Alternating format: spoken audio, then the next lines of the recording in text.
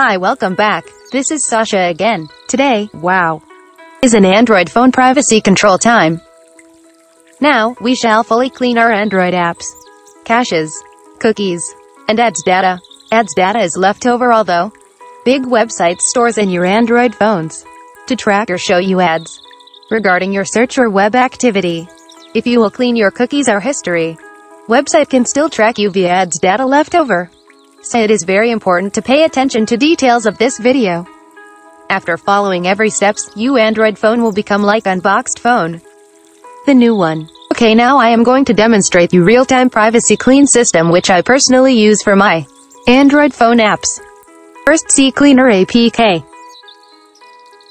Pressing install button now.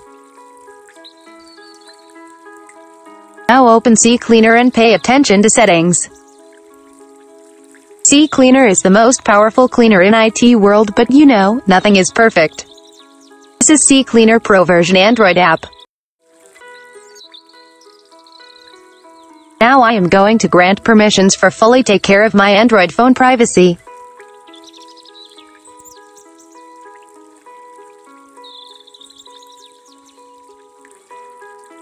Let's run scan and watch all steps. Login credentials will stay in your apps only, and all tracking data will be gone.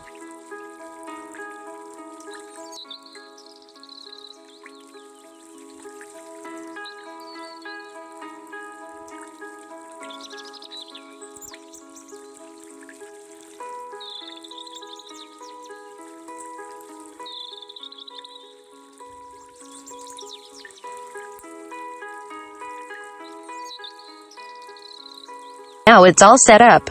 You need to open CCleaner and press scan next time when you feel your phone want cleaning.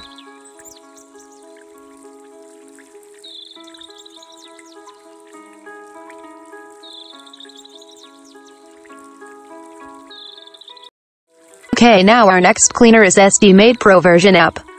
Let's install it in front of your eyes.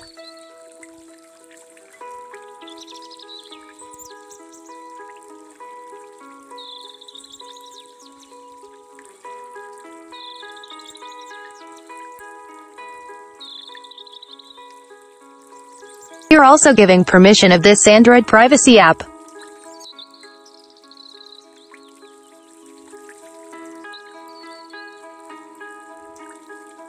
This privacy app, you just need System Cleaner if you don't have SD card in your Android phone. If you have SD card then CorpseFinder functionality. You also have to use to clear leftovers.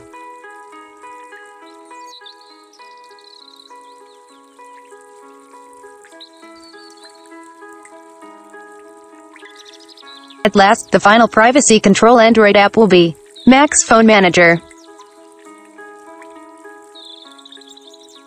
Okay now I'm fast forwarding the installation and grant permissions video.